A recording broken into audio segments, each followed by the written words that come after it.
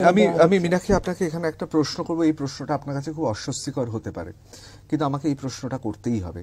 দেখুন আমি জানি যে আপনি অত্যন্ত বিশেষ করে রাষ্ট্রবিজ্ঞানের স্নাতকোত্তর স্তরে পড়াশোনা করেছেন খুব উচ্চ শিক্ষিত আপনি পড়াশোনা করেন নিয়মিত সারা পৃথিবীর দুনিয়ার খবর রাখেন এবং আপনার আমরা জানি যে আপনি যেখানেই বক্তৃতা রাখেন আপনি স্টার বক্তা। এখন বামে বামেদের নয়া মুখ একজন আপনি। আপনাকে সেক্ষেত্র থেকে এই প্রশ্ন করছি যে ধরুন এই যে আপনি যে বলছেন, আপনাদের ছাত্র আপনাদের একজন কমরেড নিখোঁজ আছেন, তাকে আপনারা এখনও খুঁজে পাচ্ছেন না। আমিও দেখছিলাম, কাল থেকে আজ অব্দি আপনাকে যতবার ফোন করেছি, আপনি হয় নার্সিংহোমে নয়তো হাসপাতালে, নয়তো বাইরে রয়েছেন, অত্যন্ত ক্লান্ত আপনাকে দেখে বোঝা যাচ্ছে।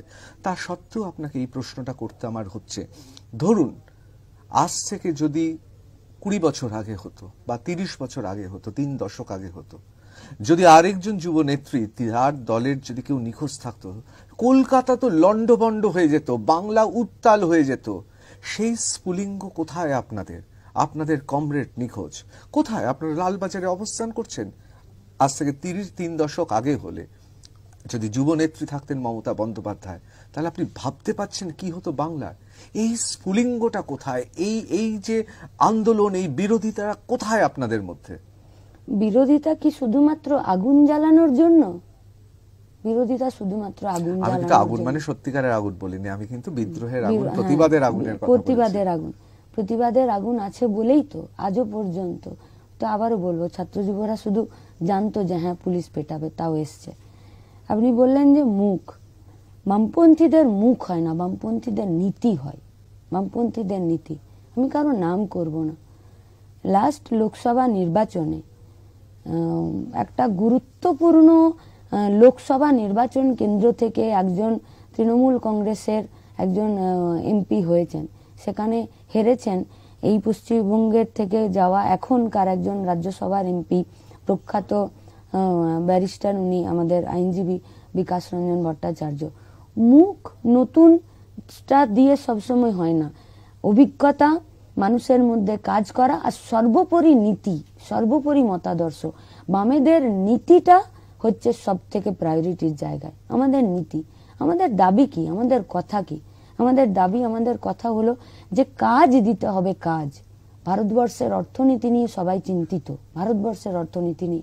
অর্থনীতি কি করে চাঙ্গা হবে? যদি হাতে পয়সা না থাকে? হাতে পয়সা কোথা থেকে আসবে? যদি চাকরি না থাকে, গতর খাটানোর যদি জায়গা না থাকে, গতর খাটানোর জন্য আগে পরিবেশ তৈরি করতে হয়। একটা পরিকাঠামো তৈরি করতে হয়, যেটা বামেদের হচ্ছে মূল কাজ ছিল। বামেরা করেছে পশ্চিমবঙ্গে, রাস্তা তৈরি করেছে, বিদ্যুতের সংযোগ দিয়েছে, জলের ব্যবস্থা করেছে মানুষের চেতনা উন্নত করার জন্য, শিক্ষা দেওয়ার জন্য school, college, university, engineering college করেছে, একটা পরিবেশ তৈরি হয়েছে। কৃষিতে ভিত্তি সেখানে সব থেকে বড় একটা শক্ত ভিতের উপরে দাঁড়িয়েছে। তারপরে সেখানে শিল্প তৈরি করতে হবে ম্যানুফ্যাকচারিং ডিপার্টমেন্টে প্রোডাকশন ইউনিটে সেখানে কাজ করতে হবে।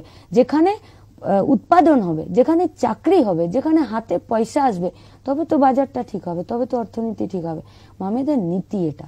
সংস্কৃতিকে ধরে রেখে পশ্চিমবঙ্গের কোথাও যাতে দাঙ্গা না হয় মানুষ মানুষের রক্তের পিপাসু যাতে না হয় জাত ধর্ম ভাষা লিঙ্গ আলাদা হওয়ার জন্য একজন আরেকজনের উপরে যাতে ঝাঁপিয়ে না পড়ে সেই সংস্কৃতিকে রক্ষা করা কোথায়? বামেদের কোথায় স্লোগান?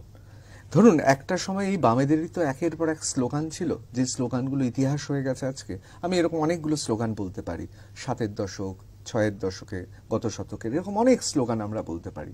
কোথায় স্লোগান? অথচ দেখুন শাসকের বিরুদ্ধে গেরুয়া শিবিরের এখন স্লোগান কিন্তু প্রায় মিথের পর্যায়ে পৌঁছে গেছে। যা শুনলে আপনারাও শিউরে উঠছেন জয় শ্রীরাম শুনলে। কিন্তু কই বামেদের তো এরকম কোনো স্লোগান শুনতে পাচ্ছি না ছাত্র যুব বামেদের। এই কোথাও কি আপনারা পিছিয়ে পড়ছেন আন্দোলনে? জয় শ্রীরামের স্লোগানে কি পেট্রোল ডিজেলের দাম কমে যাবে? রাজনীতির স্লোগান কখনো ধর্মকে যুক্ত করে এই ভারতবর্ষে করা উচিত? এটা আমরা সাধারণ মানুষের কাছেও নিয়ে যেতে চাইছি। আপনাদের মাধ্যমে আমরা নিয়ে যেতে চাইছি। ভারতবর্ষে যেখানে হাজারেরও বেশি ভাষা, শয়ে শয়ে যেখানে জাতি, যেখানে কয়েক কিলোমিটার চলে গেলে আপনার বাচন ভঙ্গি চেঞ্জ হয়ে যায়, জল আবহাওয়া প্রয়োজন পাল্টে যায়। সেখানে একটা ধর্মকে রাজনীতির সাথে যুক্ত করে যে একটা স্লোগান হয়, যে স্লোগানে ভারতবর্ষের বেকার ছেলে মেয়েদের হাতে কাজ হবে যেখানে ভারতবর্ষের সার্ভিস সেক্টরে নতুন করে নিয়োগ হবে যেখানে ভারতবর্ষের সার্ভিস সেক্টর চেঞ্জ হয়ে যাবে যেখানে ভারতবর্ষের প্রোডাকশন সেক্টর চেঞ্জ হয়ে যাবে যেখানে ভারতবর্ষের পশ্চিমবঙ্গের সরকারি যে সংস্থাগুলো ছিল ব্যাংক থেকে শুরু করে বিমা কলিয়ারি কয়লা খনি লোহার খনি যে রেল এগুলো যেগুলো জাতীয়করণ হয়েছিল সেই জাতীয়করণগুলো আজকে প্রাইভেটাইজেশনের দিকে যাচ্ছে। এই স্লোগানে সেগুলো জাতীয়করণের দিকে আসবে? অবশ্যই অত্যন্ত গুরুত্বপূর্ণ কথা বলে